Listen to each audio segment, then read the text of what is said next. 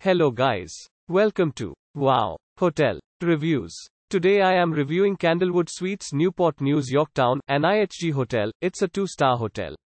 Please use our booking.com link in description to book the hotel and get special pricing.